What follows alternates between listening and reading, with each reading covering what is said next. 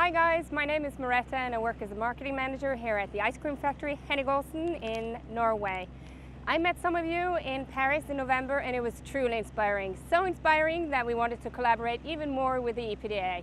And uh, so we wanted to be part of the EPDA Design Award 219 where the theme is ice cream for senior citizens. So go and find your very best talents, your very best creative heads and create the most remarkable design you've ever created. I'm looking forward to see all the great projects, all the talent that Europe has to offer. I'm looking forward.